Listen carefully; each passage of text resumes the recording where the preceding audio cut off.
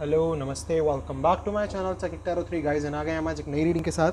आज के रीडिंग का टॉपिक है, जो भी ऑब्स्टिकल्स या जो भी प्रॉब्लम्स या फिर जो भी इश्यूज़ जिनके भी कारण से आपके रिलेशनशिप में प्रॉब्लम आनी शुरू हुई है, या फिर जो भी ऑब्स्टिकल या जो भी चैलेंजेस आपके इस रिलेशनशिप को ख़राब कर रहा है, आगे तक ना बढ़ने में तो क्या गाइस ये ऑब्स्टिकल्स ये रिलेशनशिप में जो हर्डल्स आए हैं या प्रॉब्लम्स आई हैं या फैमिली इशू है या थर्ड पार्टी इशू है क्या ये सिचुएशन ओवर होगी या नहीं? आफ्टर मतलब um, अगर मैं सारी बात को इंक्लूड कर दूँ एक ही चीज़ में तो क्या ये थर्ड पार्टी इशू ख़त्म होगा या नहीं? ओके तो यहाँ पर यही देखा जाएगा कि जो भी इशू जो भी प्रॉब्लम जो भी ऑब्स्टिकल जो भी हर्डल्स या फैमिली इशू है थर्ड पार्टी इशू जो भी आपकी लाइफ में चल रहे हैं क्या वो ओवर होंगे या नहीं? ओके एंड देन आपका रिकन्सिलिएशन होगा या नहीं? यहाँ पर मैं मेन फोकस आपके रिकन्सिलिएशन पर रखूँगा। साथ ही साथ मैं आपको ये बताऊँगा क्या क्या क्या क्या प्रॉब्लम्स हैं जिनकी वजह से ये सब कुछ आपकी लाइफ में हो रहा है ओके सो चलिए स्टार्ट करते हैं रीडिंग को और कार्ड्स को शफल करना शुरू करते हैं। और उससे पहले आप प्लीज़ सब्सक्राइब कर लो एक बार चैनल को और बेल नोटिफिकेशन आइकन को दबा दो। ताकि आपको वीडियो की नोटिफिकेशन मिलती रहे। और साथ ही साथ मेरे चैनल को सब्सक्राइब तो आपको करना ही करना है, जो मैंने बोल दिया है। पर हाँ वीडियो को शेयर भी करना है लाइक भी करना है कमेंट करके भी बताना है। वीडियो कैसी लगी आपको? तो लाइक शेयर कमेंट ज़रूर करना और वीडियो को सब्स वीडियो को और चैनल को सब्सक्राइब कर लेना। बेल नोटिफिकेशन आइकन को दबा देना। तो चलिए रीडिंग को स्टार्ट करते हैं।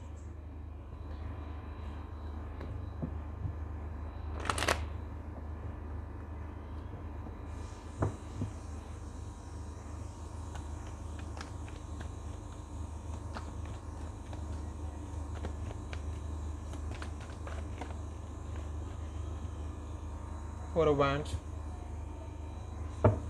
Aries, Leo, Sagittarius.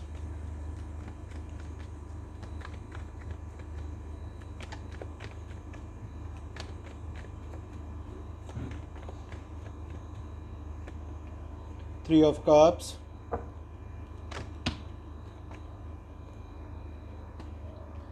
Five of Wands.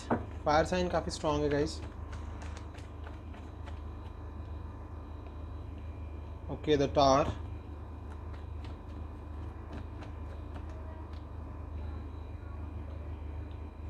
Queen of Pentacles. Okay.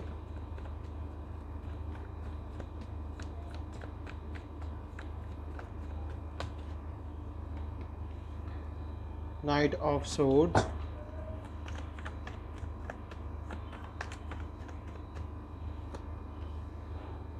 Ace of Pentacles.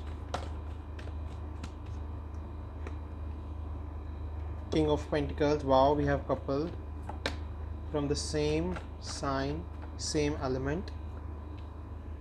Seven of Wands.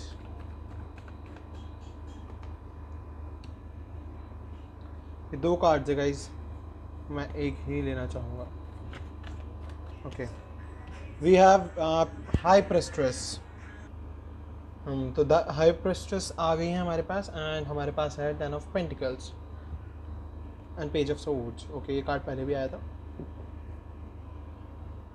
Hmm so guys reading start करते हैं आपकी। So we have Aries Leo Sagittarius Cancer Scorpio Pisces Aries Leo Sage Scorpio Aries Gemini, Libra, Aquarius, Taurus, Virgo, Capricorn, Aries, Leo, Sag and Vir, uh, Virgo we have special. तो ये science हैं यहाँ पर। हाँ और सारे ही science हैं वैसे तो। सभी साइंस यहाँ पर मौजूद हैं। सो so, देखिए आपकी जो जर्नी है ना वो ट्विन फ्लेम और सोलमेट जर्नी तो है। आपके जो पार्टनर है वो आपके ट्विन फ्लेम है या तो सोलमेट है। बट इस सोलमेट और ट्विन फ्लेम जर्नी के बीच में ना थर्ड पार्टी आ चुकी है।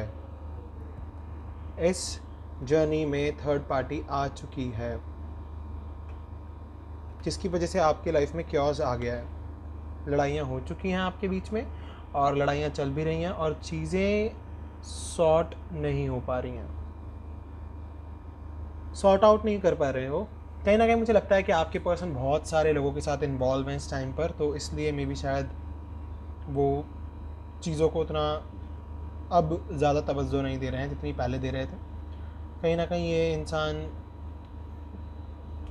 किसी और को भी पसंद करता है और मुझे लगता है आपके साथ भी ये कनेक्शन चाहता है, पर इस क्लैरिटी के साथ तो ये नहीं हो पाएगा। और मे भी मुझे लगता है ये थर्ड पार्टी सिचुएशन की वजह से ही ये चीज़ें हो रही हैं, क्योंकि थर्ड पार्टी सिचुएशन में ही आके आपके पर्सन का दिमाग जो है थोड़ा मेस्टअप हो गया है, थोड़ा प्रॉब्लमेटिक हो गया है। ठीक है?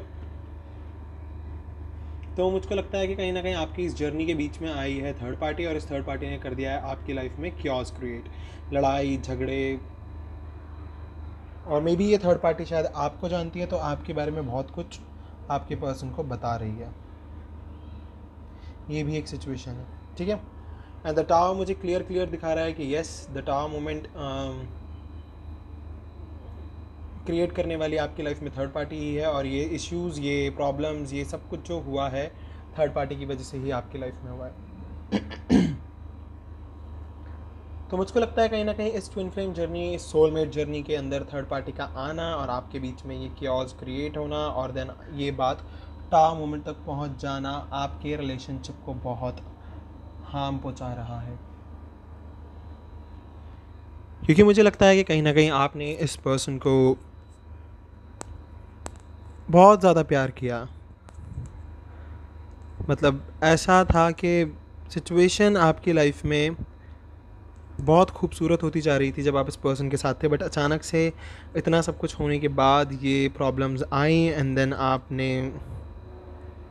चीज़ों को बहुत ज़्यादा अपने सर पर हावी कर लिया। आप इमोशनली बहुत ज़्यादा सोचने लगे, बहुत ज़्यादा प्रॉब्लम में आ गए कि ये क्या हो रहा है। अभी तक सब कुछ इतना अच्छा चल रहा था। अब एकदम से सिचुएशंस इतनी ज़्यादा आउट ऑफ़ कंट्रोल होती जा रही हैं। तो वही चीज़ देखते हुए मुझे लगता है कि कहीं ना कहीं आप अब भी बहुत ज़्यादा होप रखे बैठे हुए हो, उम्मीद लगा कर बैठे हुए हो कि कहीं ना कहीं कुछ ना कुछ तो ठीक होगा ही। कहीं ना कहीं कुछ ना कुछ ठीक होगा ही, आप अब भी ये सोच रहे हो। एंड मैं देख सकता हूँ यस क्वीन ऑफ़ पेंटिकल्स जो हमारा कार्ड है, वो मुझको क्लियर क्लियर दिखा रहा है। आपका मैनिफेस्टेशन आपका बैठकर पेशेंस के साथ इस ऑफ़र का वेट करना कि कुछ भी हो जाए। ये पर्सन तो मेरी लाइफ में वापस आना चाहिए, आप ये सोच रहे हो? और मैं देख सकता हूँ, इस टाइम आप बहुत ज़्यादा इमोशनल हो, बहुत ज़्यादा। पर आपको कहीं ना कहीं इस इमोशन को अपनी पावर बना लेना चाहिए। क्योंकि मैं यहाँ पर देख सकता हूँ कि ये कुछ टाइम तक ये पर्सन आपसे दूर रहेंगे बट एक टाइम के बाद जितना इन्हें भागना है, भाग लेंगे, परेशान हो लेंगे, चीज़ों से दूर हो जाएँगे और शायद मे भी रो भी रहे हों अभी थोड़ा। बट अभी ये भाग रहे हैं बट आगे चल के ये आपको ऑफ़र ज़रूर देंगे। क्योंकि ये जानते हैं कि ये कहीं भी चले जाएँ, कहीं पर भी किसी के साथ भी डील कर लें। सिचुएशन जो इनकी अच्छी थी, वो आप ही के साथ थी। जब तक आप इनके पास थे इनके लाइफ में बहुत खुशी थी बट अब, अभी ये चीज़ों से भाग रहे हैं, चीज़ों से दूर जा रहे हैं। एंड आप देख सकते हैं यहाँ पर किंग ऑफ़ पेंटिकल्स तो किंग ऑफ़ पेंटिकल्स का यहाँ पर आने का मतलब यही है कि येस गाइस अभी आप दोनों एक दूसरे की तरफ़ नहीं देख रहे हो, क्योंकि नहीं, ये कार्ड ऐसे आया है। नहीं, देख रहे हो, देख रहे हो, देख रहे हो। ये देखिए, हमारा किंग ऑफ़ पेंटिकल्स यहाँ है और क्वीन ऑफ़ पेंटिकल्स यहाँ है। तो आप दोनों एक दूसरे के लिए फीलिंग्स रखे हुए हो, एक दूसरे को देख रहे हो, एक दूसरे की चीज़ों पर ध्यान रखे हुए हो बट मुझको लगता है कहीं ना कहीं आपके पार्टनर को ना सिचुएशन ना सॉल्व करना, क्योंकि देखिए मुझे लगता है कि सिचुएशन इसलिए सॉल्व नहीं कर रहे हैं क्योंकि इनको आप बहुत ज़्यादा इस टाइम अटेंशन दे रहे हो। मे बी अगर आप अटेंशन देना थोड़ा कम कर दो तो ये पर्सन चेंज हो जाए। ये भी हो सकता है।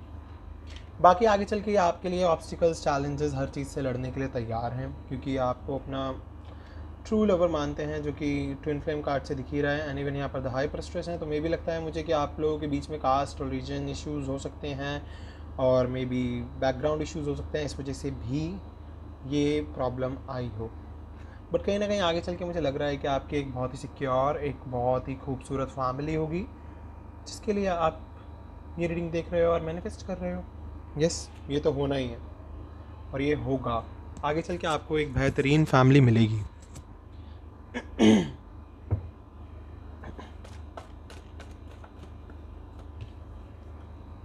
We have five of pentacles like financial and material changes तो हो सकता है कि आगे चल के इनकी लाइफ में काफ़ी फाइनेंशियल एंड मटेरियल चेंजेस हैं। चीज़ों को ये समझें और अपने लिए वर्क करें, अपने करियर पर फोकस्ड रहें। अभी ये सफरिंग इन साइलेंस तो थोड़ा सा ये सफ़र करेंगे आगे भी साइलेंस में। थोड़ा ये चुप रहेंगे, अपनी फीलिंग्स को आपको उतने अच्छे से नहीं बताएँगे। बट अगर आप इनसे बातचीत करोगे तो ये चीज़ों को एक्सप्रेस ज़रूर करेंगे।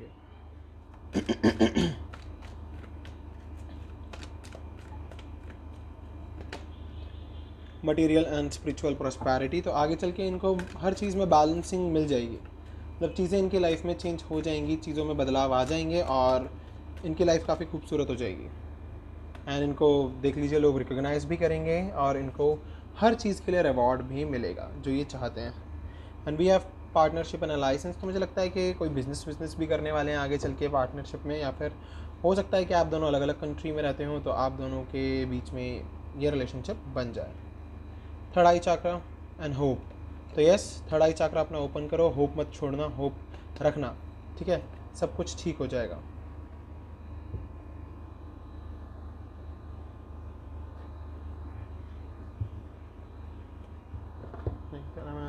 एनर्जी अकल से लिखता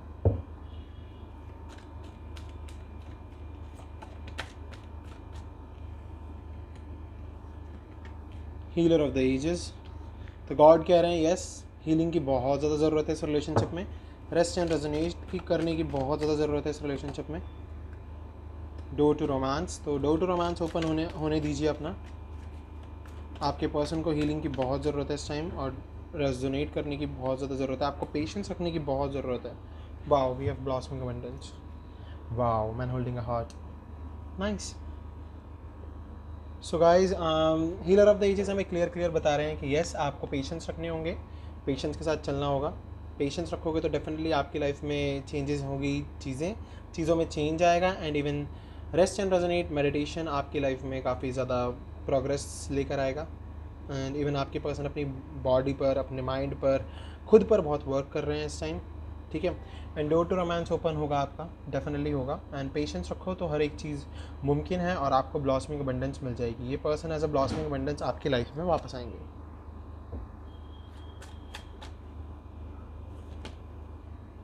टाइम टू टेक एक्शन तो एक्शन लो, आगे बढ़ो। Bring love into the situation her situation में प्यार लाने की कोशिश करो। मुश्किल होता है हर सिचुएशन में खुद को कंट्रोल रख पाना। कंट्रोल करने की कोशिश करो।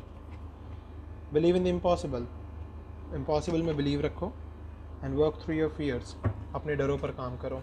अपने डर को अपनी ताकत बना लो। कम्युनिकेशन इज़ ए की इन रिवर्स तो अगर आप कम्युनिकेट अच्छे से करोगे, बातचीत अच्छे से करोगे अपने लिए तो एक न्यू स्टार्ट आपकी लाइफ में ज़रूर आएगी और जो भी आंसर्स आप चाहते हो वो आपको मिल जाएँगे ओके बट आपको कम्युनिकेट करना बहुत ज़रूरी है, बहुत ज़्यादा ज़रूरी।